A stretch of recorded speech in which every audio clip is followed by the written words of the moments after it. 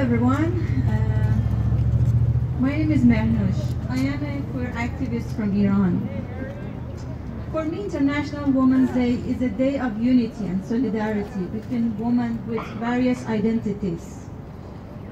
I think by now, I think we agree that feminism is intersectional. Um, LGBT community has come a long way in Western countries uh, in gaining their human rights.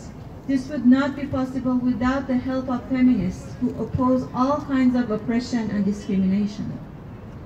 Iran has become one of the most dangerous places in the world for queer and trans community as a result of institutionalized misogyny, social and state-sponsored homophobia and transphobia, and governance based on Sharia law.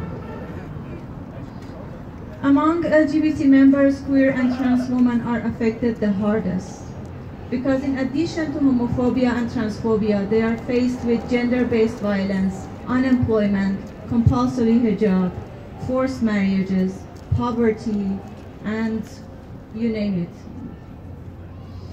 Just weeks ago, a news from a shelter in Tehran that had refused to take in transgender woman uh, based on her gender identity went viral. However, usually these issues do not become news.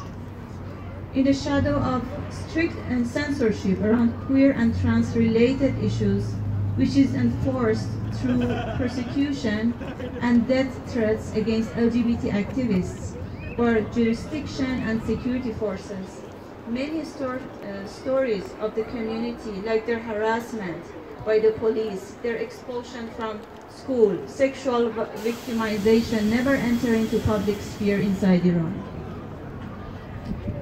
The authorities know if we start talking about our stories and lives, um, change is inevitable. And they cannot accept it. Hence, international forums are the only places available right now where our voices can be heard and circulated, and hopefully something can be done. Today I ask you as individuals, and some of you may be members and representatives of organizations and associations, to be the voice of this extremely marginalized community especially those who live in regions where homosexual act is punishable with death penalty.